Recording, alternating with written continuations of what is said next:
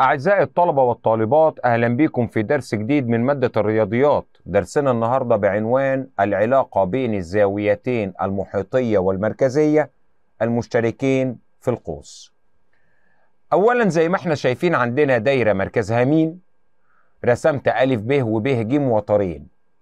الزاوية المحيطية تعرفها هي زاوية رأسها على الدايرة والضلعين عبارة عن أوتار في الدايرة. بمعنى إن أنا هاجي أقول لك أنا عندي الشكل ده قياس زاوية ألف ب ج دي تعتبر زاوية محيطية طب الزاوية المحيطية دي مين القوس المقابل ليها؟ القوس ألف ج يعتبر هو القوس المقابل للزاوية المحيطية بتاعتنا نلاحظ إن لكل زاوية محيطية توجد معاها زاوية مركزية واحدة بس تشترك معها في نفس القوس. بصوا كده معايا على المثال اللي قدامي ده والرسمة ديت. هتلاقي إيه؟ هتلاقي إن زاوية ألف ب ج تعتبر زاوية محيطية وزاوية ألف م ج تعتبر زاوية مركزية. الزاوية المحيطية يبقى أنا عندي زاوية ألف ب ج دي تعتبر زاوية محيطية. وعندك قياس زاوية ألف م ج دي تعتبر زاوية مركزية. الزاوية المحيطية والزاوية المركزية الاتنين دول يعتبروا مشتركتان زاويتان مشتركتان في نفس القوس اللي هو الألف ج نظرية واحد. نظرية واحد بتقول لنا إن قياس الزاوية المحيطية تساوي نص قياس الزاوية المركزية المشتركة معها في نفس القوس. بمعنى زي ما إحنا شايفين في الشكل المقابل اعمل حسابك إن قياس زاوية ألف ب ج قياسها بيساوي نص قياس الزاوية المركزية ألف م ج علشان دي زاوية محيطية والزاوية المركزية مشتركتان مع بعض في قوس اللي هو الألف ج خلي بالك أنا ممكن أعكسها لك. أجي أقول لك اعمل حسابك إن قياس الزاوية المركزية ألف م ج بتساوي ضعف. قياس الزاوية المحيطية ألف ب ج والاتنين مشتركتين في نفس القوس اللي هو الألف ج تعالوا بقى نشوف بعض النتائج بعد النظرية اللي إحنا خدناها. النتيجة الأولانية بتقول لنا إن قياس الزاوية المحيطية بيساوي نص قياس القوس المقابل لها. يعني أنا عندي قياس زاوية ألف ج ب بتساوي نص قياس القوس ألف ب ونقدر نعكس الجملة دي. نقول له إن قياس القوس بيساوي ضعف قياس الزاوية المحيطية. دي النتيجة الأولانية. النتيجة التانية عندنا بتقول لنا إن أنا لو عندي زاوية محيطية مرسومة في نص دايرة يعني إيه مرسومة في نص دايرة؟ يعني الألف ب يبقى عبارة عن قطر ساعتها أقول له الزاوية دي قايمة قياسها 90 درجة طب دي نكتبها إزاي؟ نقول له بما أن الألف ب ده قطر في الدايرة يبقى معنى الكلام دوت إن قياس زاوية ألف ج ب هتساوي 90 درجة ونقول له السبب كده إن دي زاوية محيطية مرسومة فين؟ في نص دايرة. يبقى زاوية محيطية مرسومة في نص دايرة. ودلوقتي عندنا بعض الملاحظات تعالوا كده نشوفها مع بعض. الملحوظة الأولانية بتقول لك إيه؟ إن قياس الزاوية المركزية بتساوي ضعف قياس الزاوية المحيطية المشتركة معها في نفس القوس.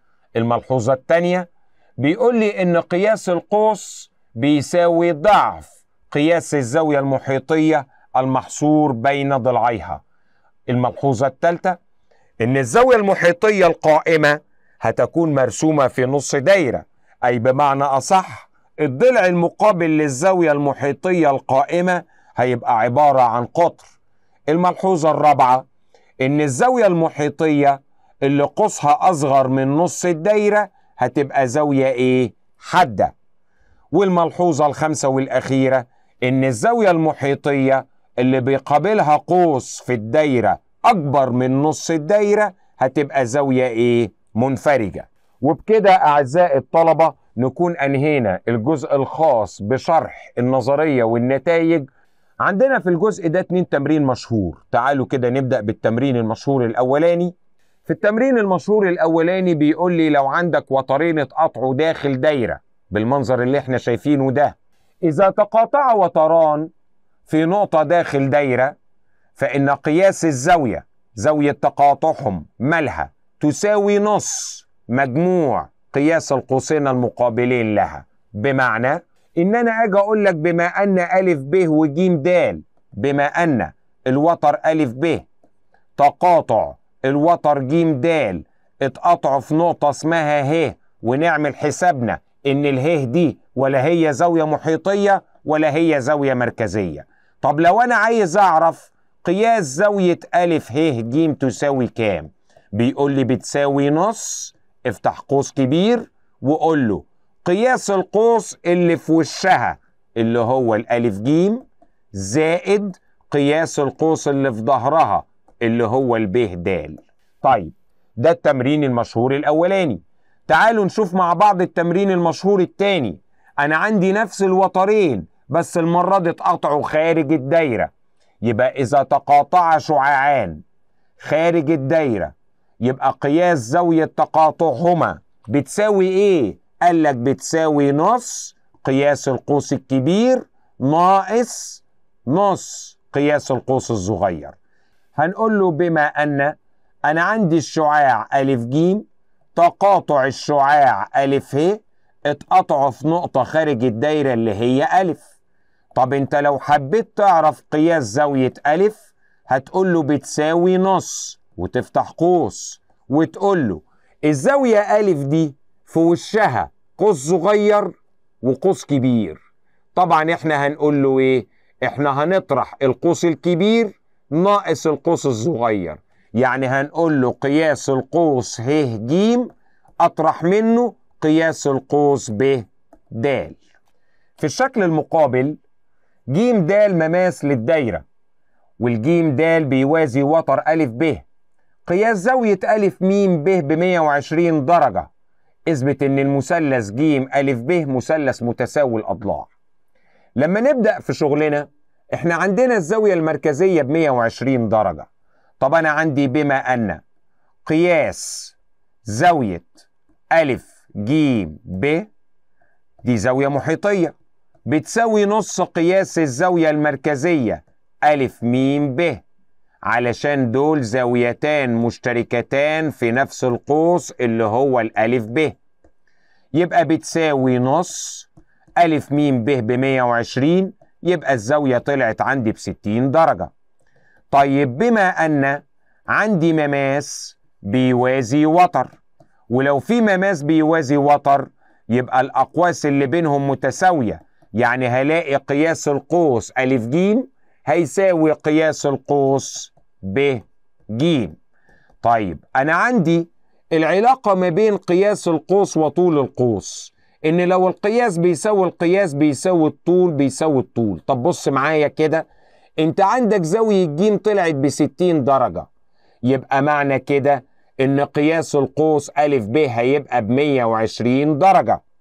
طيب أنا لما يبقى عندي قياس الدايرة 360 درجة وعندي أقواس متساوية يبقى هقول له ال 360 أشيل منهم ال 120 بتاع زاوية ب قياس القوس أ ب ونقسم الناتج على الاتنين. يعني معايا 240 على الاتنين فيها ال 120 درجة. يبقى قياس القوس أ ج طلع ب 120 والب د طلع برضه ب 120 يبقى معنى كده أنا عندي الأقواس متساوية. طالما الأقواس متساوية يبقى كده الألف ج بيساوي الب د وطالما الألف ج بيساوي الب د يبقى المثلث أ ب ج ده يعتبر مثلث متساوي الساقين. طب مثلث متساوي الساقين وإحدى قياسات زواياه ب 60 درجة. يبقى من هنا نستنتج إن المثلث أ ب ج هيبقى مثلث متساوي الأضلاع. طيب تعالوا كده ننتقل مع بعض على تمرين آخر. في الشكل المقابل انت قايل لي إن الألف ب وتر بيوازي الميم جيم اللي هو نص القطر وعايزين نثبت إن الب ه أكبر من الألف ه. اولا هنقول له بما أن قياس زاوية ب بتساوي نص قياس الزاوية المركزية ج م ألف علشان دول مشتركتان في نفس القوس اللي هو الألف ج يبقى زاوية ب بتساوي نص زاوية م يبقى معنى كده نقدر نقول له إن قياس زاوية م هتبقى أكبر من قياس زاوية ب ونسمي العلاقة دي رقم واحد. طيب بما أن م ج بيوازي الألف ب. إذا قياس زاوية م هتساوي قياس زاوية ألف بالتبادل وتبقى دي العلاقة رقم اتنين. يبقى أنا عندي من العلاقة رقم واحد والعلاقة رقم اتنين هنستنتج أن. تستنتج إيه بقى؟ تستنتج إن قياس زاوية ألف أكبر من قياس زاوية ب. طيب لو أنا اشتغلت في المثلث ألف ب ه من متباينة المثلث لو أنا عندي زاوية أكبر من زاوية تانية يبقى الضلع المقابل للزاوية الكبيرة اللي هو الب ه أكبر من الضلع المقابل للزاوية الصغيرة اللي هو الألف ه وهو المطلوب إيه؟ إثباته. تعالوا ننتقل مع بعض على تمرين آخر في الشكل المقابل ألف ب وتر م ج ده عمودي عايز أثبت إن قياس زاوية ألف م ج بتساوي قياس زاوية ألف د ب. هنيجي في المثال دوت ونعمل عمل. إيه هو العمل؟ إن أنا هوصل الميم بالب. يبقى نيجي كده نكتب له العمل اعمل حسابك إن أنت هتوصل البه ميم نبدأ نشتغل مع بعض بقى في البرهان هنقول له والله في الحل بتاعنا بما أن أنت عندك ألف ميم ب ده يعتبر مثلث متساوي الساقين. طب هو دوت مثلث متساوي الساقين عرفنا منين؟ عشان الألف ميم بيساوي ب ميم أنصاف أقطار دايرة واحدة. وإيه كمان؟ ومعاك الميم جيم ده عمود مرسوم من راس مثلث متساوي الساقين على القاعدة. يبقى إذا الميم جيم هينصف زاوية ألف ميم ب.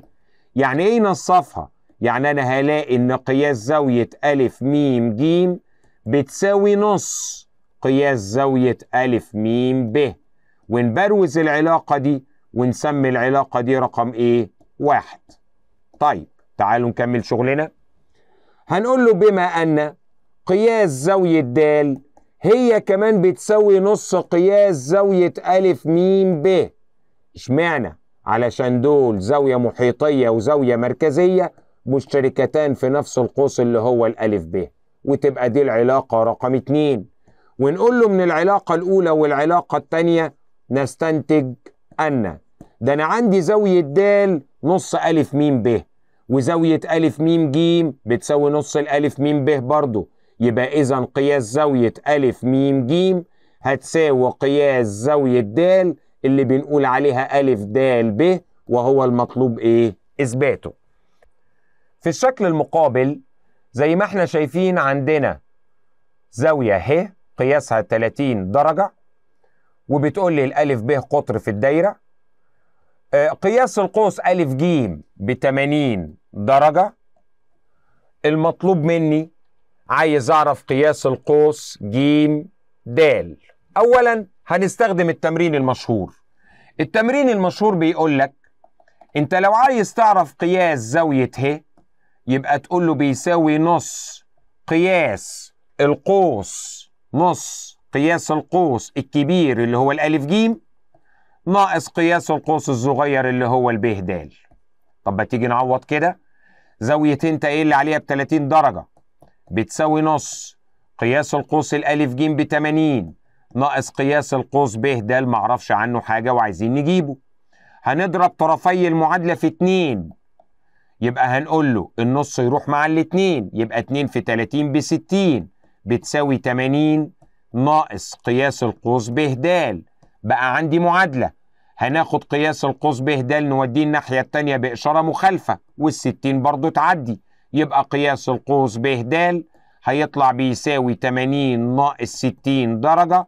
يبقى إذا قياس القوس ب د هيطلع ب 20 درجة. طيب أنا عندي بما أن الألف ب ده عبارة عن قطر. يبقى معنى كده إذا قياس القوس د ج هيساوي ال 180 بتوع نص الدايرة. ناقص نيجي نقول له بقى هنفتح القوس بتاعنا.